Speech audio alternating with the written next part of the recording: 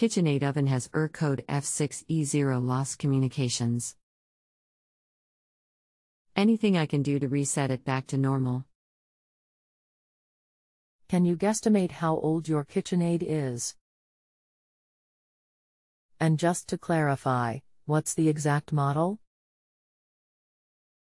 Built in the new home we bought about seven years ago. Single door electric oven. Do you plan on doing the work yourself?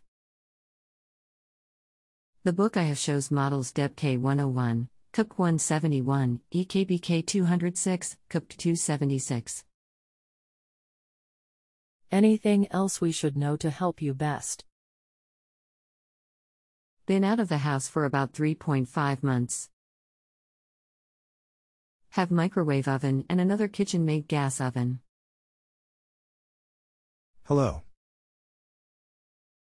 My name is I'll be helping you with your appliance question today. Please wait a few moments while I review your question. I am so sorry that you have this issue because this is quite a major problem. Your main control board has likely shorted, but there is really no way to know for certain.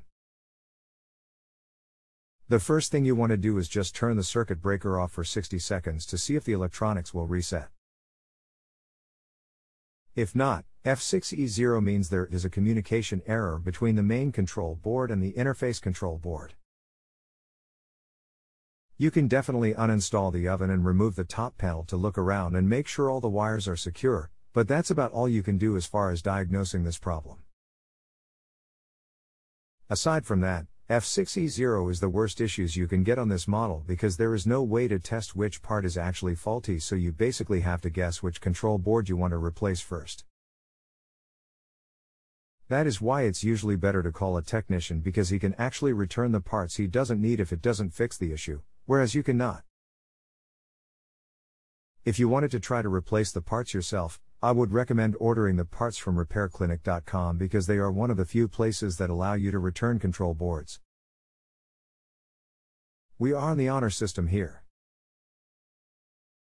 If you need anything else, just let me know. You can continue asking follow up questions at no additional charge after rating my service if you still need assistance. If you have a home improvement or appliance question and want to chat with an expert now visit justanswer.com/ythi.